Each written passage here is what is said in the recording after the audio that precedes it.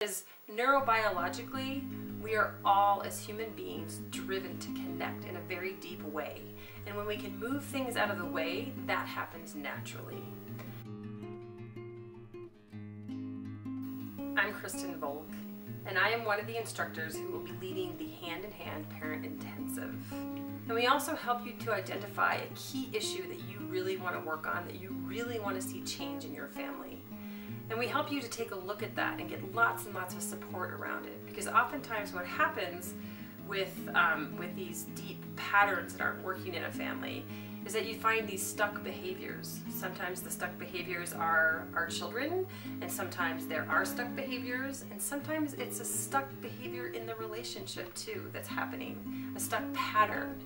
So we help you to, to take a look at these things and to start to look at ways to shift these patterns and shift these stuck behaviors so that things move, things start to change and to shift. And so the outcome is that you're going to find more opportunities um, to find a deeper connection with your child and have that sense of total goodness that your child has, as well as your own goodness and hard work as a parent.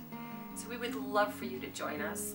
It's myself and two other instructors, Kathy Gordon and Ravid Aisenman, will also be instructors, and we each will take a cohort and lead you through this 10-week amazing journey to just greater um, and richer relationships within your family.